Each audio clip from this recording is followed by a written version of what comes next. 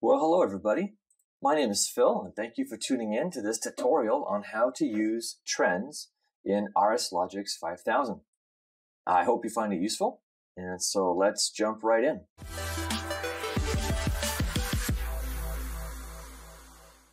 Now, if you've got any familiarity with PLCs, uh, you probably have come across a situation where a trend might have been very useful.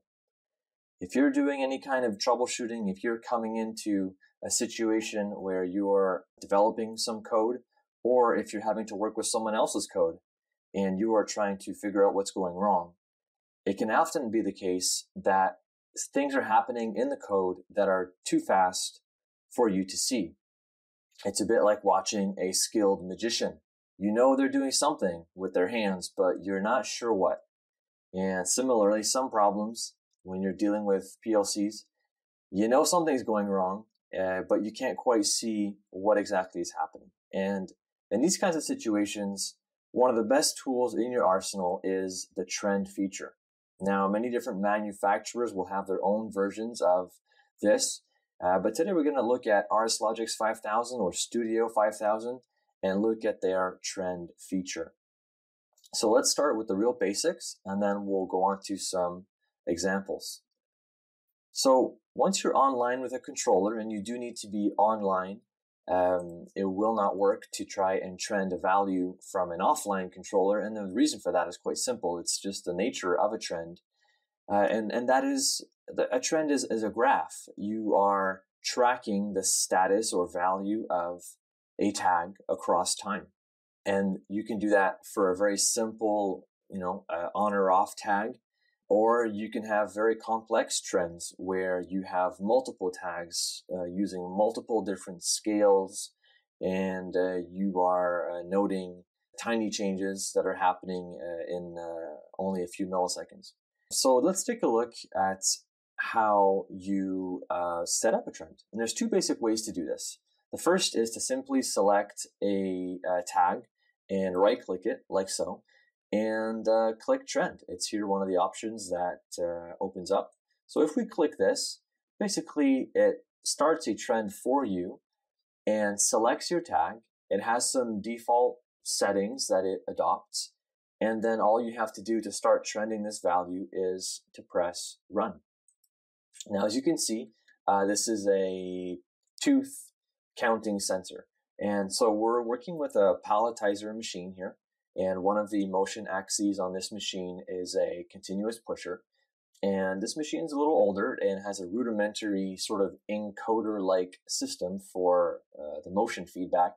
And it has a little proximity sensor that's counting the teeth of the sprocket as the sprocket turns. So if we look at this here, uh, right now, you can see the seconds are going by in the bottom, and your line is very straight. Now, RSLogix 5000 will set a default y-axis scale here, and it will basically scale this uh, in accordance to the range of the values of your tag as the trend goes on.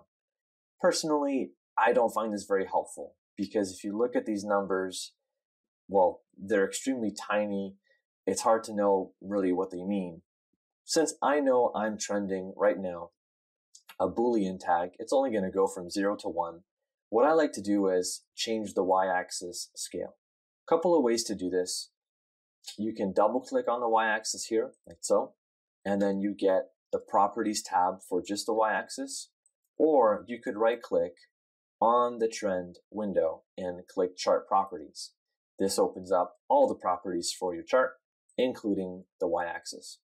And so I like to give myself a custom range here. I like to go from minus one because I don't like zero being right at the bottom. It's just a little idiosyncrasy of mine. And let's say I give myself four. Now I've got my value here at zero. By default, there's four grid lines. So here, each grid line is a number. And to me, that's pleasing. I like this. And so we can take a look at what happens. Now I'm going to make this axis turn and we're going to see what happens to the signal. So let's go ahead and do that. And we're going to index the continuous pusher. And right away, we can see on our trend that our sensor is picking up all kinds of tooth counts. but all of a sudden it's gone. We can't see it anymore. And this highlights the x-axis scale. Right now, by default, it only gives you a time span of two seconds. So you can see that I double clicked on the x-axis.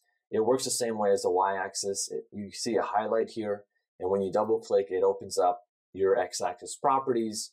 Or in the same way as I did before, you can right click, hit chart properties, and we can go and edit our x-axis. So let's say two seconds, it's pretty hard to see anything happen over just two seconds. So I like to give myself a little bit more time. Let's give ourselves 40 seconds. Apply that.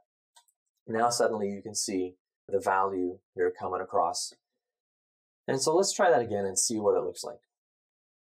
If we index a continuous pusher, now we're going to see our tooth counter is picking up all these transitions.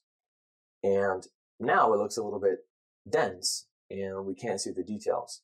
So what you can do is you can press pause here at any time and then you can zoom in to the area that you want to see. And that's simply a click and drag feature.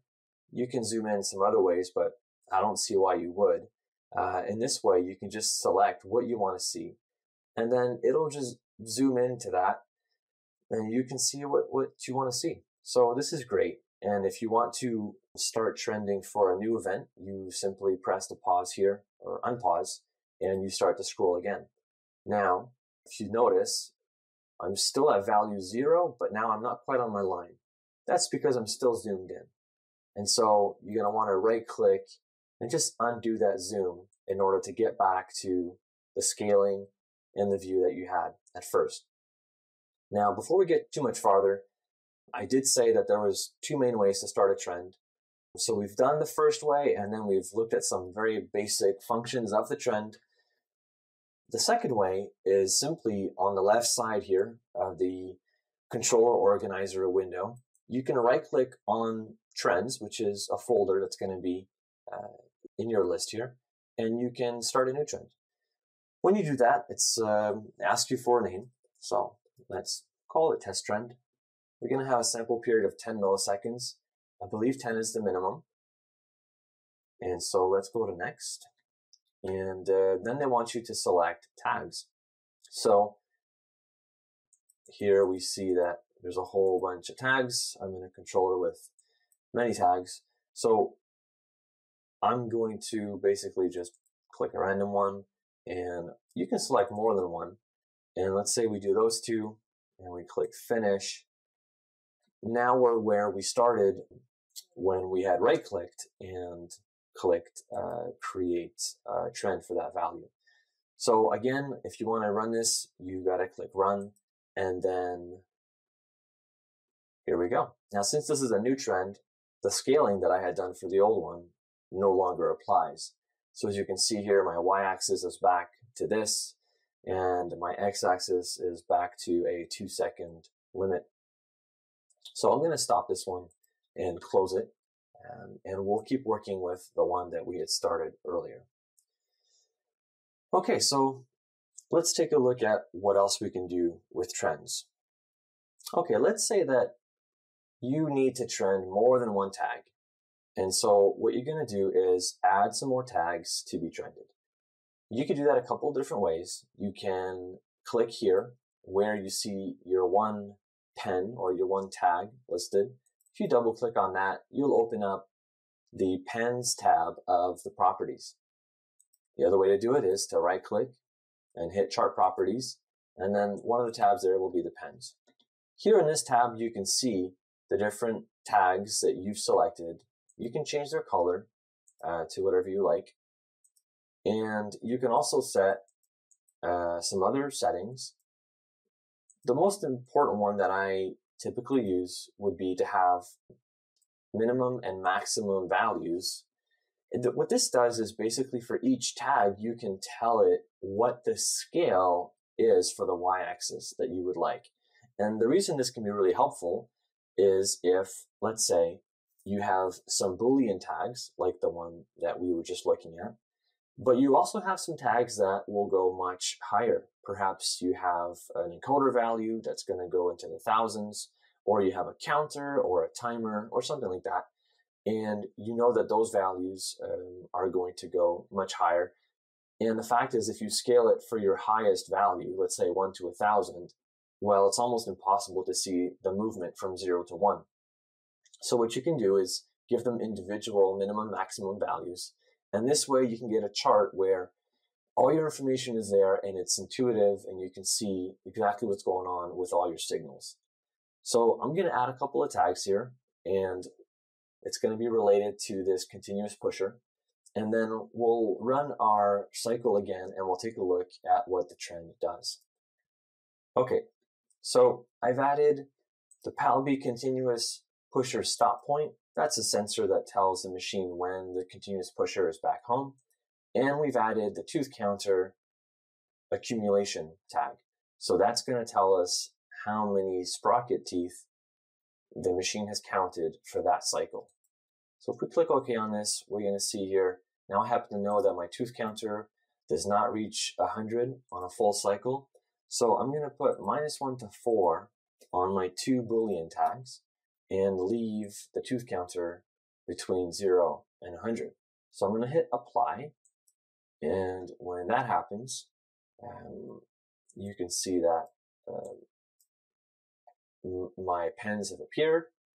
They've got colors. And however, you see my y and my minimum and maximum values uh, all seem to be minus 1 to 4. The reason for that is that in y-axis, if you want to use minimum maximum settings from the pens tab, you need to click preset. And that will instead of using this custom y-axis, you're going to use the preset values that you configured in your pens tab. So that's great. Click yes on that. Um, let's see what else, if we need to change anything. There's lots of options here. I encourage you to take a look at and get familiar with all the different options uh, that the, it's really quite powerful um, once you get into what this thing can do. You've got even start triggers and stop triggers if you want to capture a certain event and you know that uh, it's only going to happen once in a while and you know that a certain something is going to happen, let's say to a tag value when, when the event happens, you can even configure that. Now that's outside the scope of this tutorial, but just to give you an idea that uh, this is quite a powerful tool. Now you notice here I've clicked display milliseconds. If you're looking at really precise and um, events that are happening within just a few milliseconds, this will help you because by clicking it, let's say I come back here now, and when you've hit pause and you're analyzing your event, whenever you click somewhere on the trend, it'll give you the value of the tags being trended. So at the point when this was paused, I only had one tag. So it gives me one value, zero. And then it tells me the exact time that that value was recorded down to the milliseconds. And this, that's why I clicked milliseconds because I've got all that information there. And, you know, if I zoom in a lot and then I go basically, I can get it down where I'm clicking every 10 milliseconds, I get a value reading. And that's where that 10 millisecond sample time came from uh, when we first set up this trend. All right, so let's undo zoom, let's unpause, and now we're gonna have, you'll see that my minimum max my min and max values are set up and I don't see anything happening here and that's because I haven't clicked run again. When you add new pens to your trend, uh, it stops the trend and you have to hit run in order to start trending values again. So here we go. We've got one value, uh, one tag that is at value zero, and that would be the tooth counter, the, the tooth sensor. And we've got one tag that's at value one. That's the stop point. That makes sense because my continuous pusher is back home and my tooth counter is at zero. Great. So we're ready for another cycle. I'm going to go ahead and index that one more time. And when I do that, we're going to see a whole lot of things happen here. All right. So that there is basically the event cycle. And what I'm going to do is just press pause on that and then we can zoom in and take a closer look at what happened. So if we go, let's say, select all this, it's going to spread that across the full screen. And what's really nice about that is you can really get into the details and see. So let's take a look here. If I click here, we can see that this is before the event really started. right here is the first indication that something has happened because I got my first tooth count. And a, a few milliseconds later, about 100 milliseconds later, my sensor, my stop point sensor, goes from 1 to 0. So that means that my pusher bar has moved um, enough that I've lost the home signal. And you can see that as soon as I got that one tooth count, or maybe actually it's from the second one, we start to have my counter counting up tooth counts. And so this is the counter value climbing up like a big staircase all the way to the top. When it gets near the end, there's some logic in there that is telling it to decelerate because it knows it's getting near the end. And as soon as we detect that stop point uh, sensor again, we want to stop right there. And that's what happens. So you can see here, by the way, when you click anywhere on your trend and you're analyzing your results, uh, the vertical numbers here are going to just match the vertical list of your tags. So, you know, if I click here, let's say both my values were at zero at that moment and my tooth counter was at 69, 70, 74, and so on and so forth.